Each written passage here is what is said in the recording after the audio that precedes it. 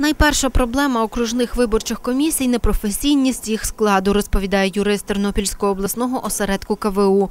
Складається враження, каже Володимир Курило, що члени комісій не ознайомлені ні з виборчим законодавством, ні з рекомендаційними постановами Центральної виборчої комісії.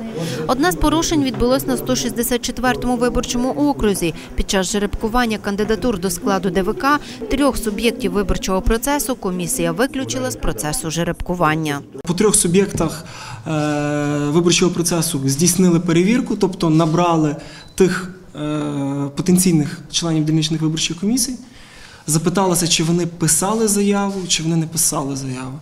Люди е, відповіли, що вони не писали заяву, перший раз чують про цю політичну партію. Знову ж таки, виникає питання перше.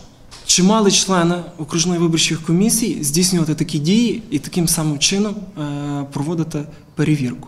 Раз. Е, По-друге, чи дійсно вони по телефону з'ясували, що це дійсно та особа, яка е, підняла трубку і відповідала? Третє, чому лише провели перевірку по трьох суб'єктам виборчого процесу, порушивши принцип рівності? За словами Володимира Курила, більшість окружних комісій порушує принцип гласності. Законодавство передбачає, що після прийнятих рішень члени ОВК мають оприлюднити їх зміст на відповідних стендах. Цю норму члени ОВК також порушують. 164, 167 виборчий округ. Не готові говорити по 163-му, але 164, 167 не висвітлює, не е, оприлюднює е, свої постанови, чим порушує законодавство е, про вибори.